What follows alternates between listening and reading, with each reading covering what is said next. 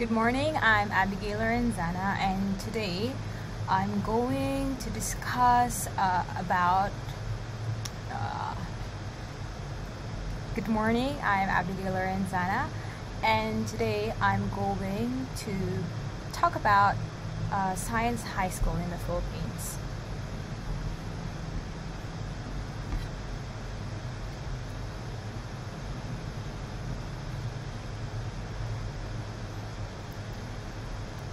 So I have chosen Central Visayan Institute Foundation of Jagna, Bohol, Philippines. Um, because many science high schools in Manila, like Quezon City, and the Philippine Science High School are really well known. But this one is the first time I've heard of this school, and I think it might be the first for you even. So Central Visayas Institute Foundation. So today our discussion points are Okay, so we'll talk about history. We'll talk about history, the vision and mission of a school, their learning system, and their research center, notable people, and admissions. How you can get into that science high school. Okay, so history. In 1925, uh, it's like a few years after the American teachers, or called the Thomasites, arrived in the Philippines. Uh, Fred Warner, an American educator, uh, saw the need for a quality education in Jagna Bohol. Many, um, many, many students, many natives are flocking to Tagbilaran to study. So in Central Visayas, in Bohol, so Tagbilaran is the capital and Jagna is another uh, part of Bohol. So many, so as I was saying, many many students are flocking over to Tagbilaran, and uh, many still need uh, quality education. So Fred Warner saw that need and uh, put up a school in 1925. So that school was called the Filipino American High School, uh, but was later on changed to Central Visayan, Visayan Institute uh, in 1983 or ni- 1984, 93, 1983 to 1984. So, what's the vision and mission of the school? So, the vision of the school is to serve as haven of learning and formation for the youth, protecting and developing what is good in the Filipino while learning from experiences of the global community. Graduates shall be achievers ready to serve their country and the greater family of nations, guided by our Heavenly Father.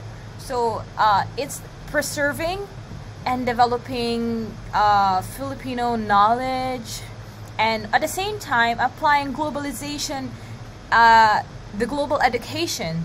So uh, their approach to education is a mixture, is a hybrid of traditional education and um, modern education. So their mission, forming the educational arm of the Central Visayan Institute Foundation, the junior and senior high school departments first shall equip each student with necessary values and competencies for further studies and careers. Uh, they shall develop and protect each individual's talent and innate creativity and guide each one towards the path of fullest realization of potential and creative abilities. And lastly, shall instill in the youth a spirit of service to country and love of God above all. So we see here their vision to uh, really uh, equip their students to make students the leaders of uh, tomorrow that uh, citizens of the future that will make a change. So uh, i was really uh, intrigued by their learning system. So they have this innovative learning system which they call dlp or dynamic learning program. Uh, so it's an independent learning. So they have uh, this uh, they have three sections rotating sections that for example section 1a 1b 1c so in the first uh, uh, section, uh, there will be a teacher, a teacher who will introduce the subject or the course they they uh, they will be learning, and the second part is um, uh, each student doing their own thing, and like a self discovery in the process, and like finding out and learning by themselves, self study. And uh, the th- uh, third one is like a mixture of both, and also discussion and um, brainstorming uh, on the concepts of the subject. So, but usually they have no introductory lecture, and students learn with zero to minimal teacher intervention. It's individualized, as I said, and validate, validated by new results from neuroscience researchers. So uh, they're pandemic ready, even before the pandemic happened. So handwriting is used as a subject-centered strategy to pin down focus and attention. So they discourage, not really discourage, they encourage rather uh, handwriting in most of uh, the studies and uh, presentations of the students. So it's mano-mano talaga. Uh, bihira sila gumamit ng technology. Which is also a good thing because not everyone is privileged with uh, advanced technology. And they also have this interesting zero homework policy uh, because they believe that as uh, the students learn for from 7.30 to 5 p.m. That's their usual schedule.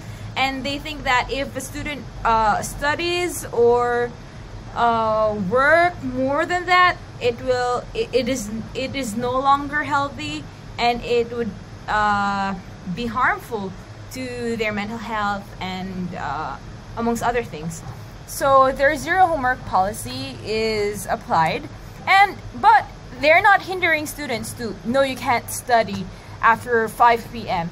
You can study but at your own will. It is not imposed and uh, they have they take pride in their theoretical physics research.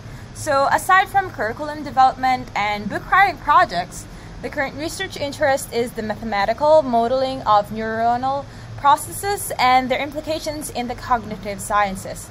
So they're really in, interested not just uh, in education, but a further education and developing science so, the school takes pride in its Research Center for Theoretical Physics, RCTP, established in 1992.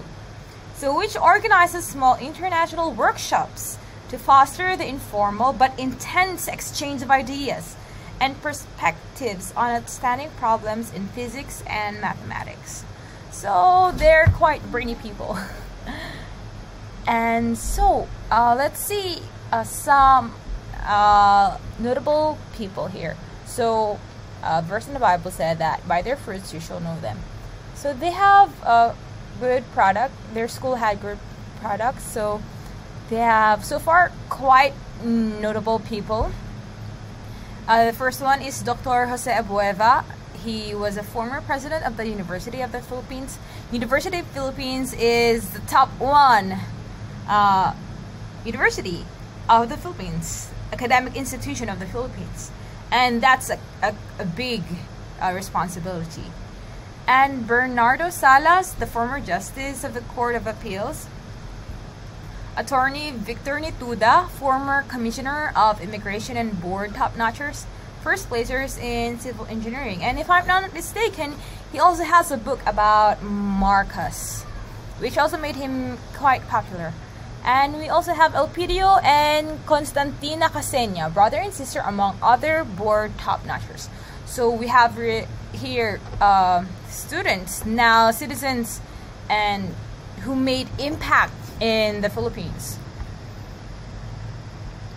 And so, how do one get in? So how can you get in, if you ask me? Um, if they before they have uh, lower grade levels, but now they focus on grade 7 to 11. So middle school, uh, uh, junior and senior high school.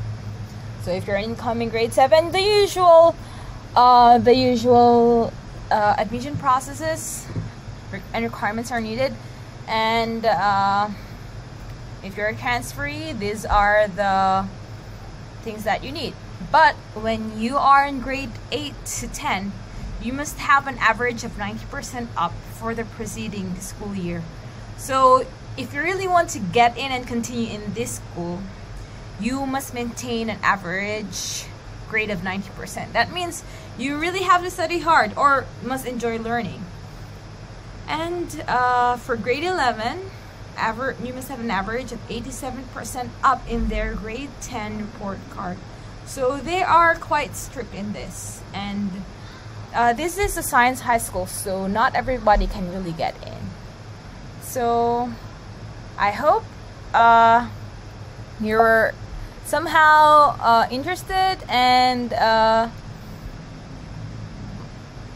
and might think about going in there, or you might endorse it to some of uh, the people that you know, to your family and relatives, or your friends who are in Bohol. Um, so this is a great school to go to. So thank you for listening, and that's all for today.